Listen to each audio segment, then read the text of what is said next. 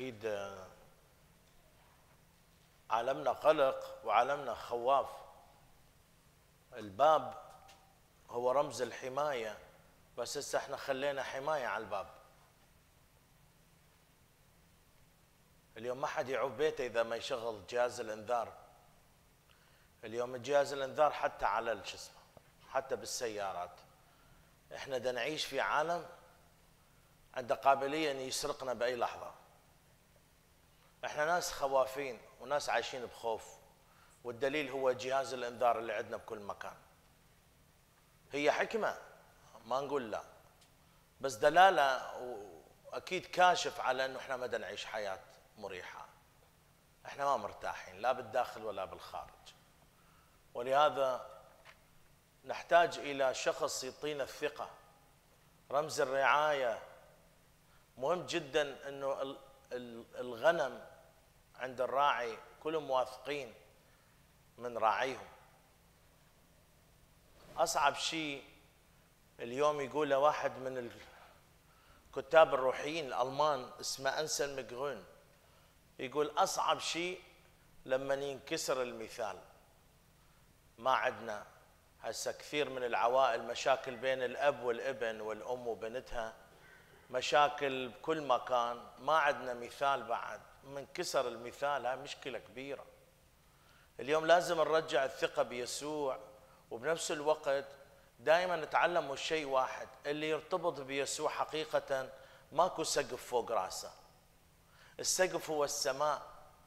ترى هاي الكنيسة سقفها مو هذا. إذا أنتم جايين تحت هذا السقف فأنتم غلطانين. لما تجون قداس وتباعون فوق على هذا السقف إذا ما باوعتوا لي فوق للسماء أنتم خسرتوا هواية ضيعتوا وقتكم بالكنيسة. ولهذا اليوم اجى زمن يصيحوه زمن الكون مع المسيح أو ترك المسيح. لا تصير بالنص. يوم تكون وياه وعشرة تنساه لا الراعي لازم يكون راعي قوي وتطيع بكل شيء. راعينا راعي الفوق راعي المسيح. هذا هو. فاليوم إحنا لازم نفكر دائما بأن يسوع مثل ما صور هذا الفنان أكو فنان رسم لوحة كلش حلوة اسمه ويليام هولمان هانت رسم لوحة يسوع واقف يم الباب بيده عصا مال راعي وبيده فانوس ودا يدق الباب. الراعي والفانوس يسوع نور حياتك ويسوع هو راعي حياتك دا يدق على الباب باب قلبك. المشكلة الكبيرة انه ويليام هانت ما خلى اليد مال الباب برا خلاها جوا يعني يسوع ما يقدر يدخل أنت اللي لازم تفتح له. فراح يبقى يسوع أمين راح يبقى يدق الباب وراح يبقى واقف ينتظر إن تفتح له الباب. حسب ما قال في سفر الرؤيا اصحاح الثالث قال ها أنا واقف عند الباب اقرع من يفتح لي؟ من يسمع صوتي؟ شوفوا هنا تقدر تميز صوت يسوع من بين أصوات الحضارة هسه اللي دا تحكي الجنس والمخدرات والإعلام والدعايات والبلاوي السايحة. تقدر تميز بينها وبين صوت يسوع؟ يقول من يسمع صوتي يفتح لي. شوفوا اليوم نفس النص.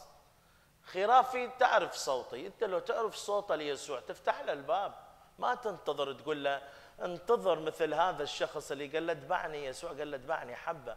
قال له انتظر يا يسوع بس أروح أدفن أبويا. هو كذاب هو يريد يفلت من يسوع. قال أروح أدفن أبويا. قال له يا يسوع دع الموتى يدفنون اموات تعال لا تضيع وقت. ولهذا إحنا نضيع وقت. فافتح الباب فتح الباب عزيزي افتحوا الباب ليسوع لا تفتحون باب للمنافقين. نسوان يدخلون يخربون كم بيت ما عندهم شغل وعمل. سدوا بيبانكم لا تسمعون حكي العالم. عيشوا في لحظات مهمة لحظات جوهرية. فتحوا كلمة الله. اقروا وين يسوع يقول تشبثوا بي ترى راح تخسرون. ولهذا أخوتي وأخواتي راح يجي زمن راح يجي زمن أسود. يا كورونا أتعس من الكورونا. راح يصفينا. هوايه مو بالمعنى التصفية الجسدية التصفية الروحية. راح نشوف هواية يقعون بالطريق. شكد ما ايمانكم قوي زاد القوي هو إنه تاخذ كلمة الله تلتهمها مثل النبي قال له روح أكل السفر. فقال النبي لقد وجدته حلو المذاق في فمي وحشاياي اليوم أكلوا كلمة الله أخذوا القربان تسلحوا ترى الجاي هواية أقسى من الراح فكونوا أقوياء. لحظات صمت.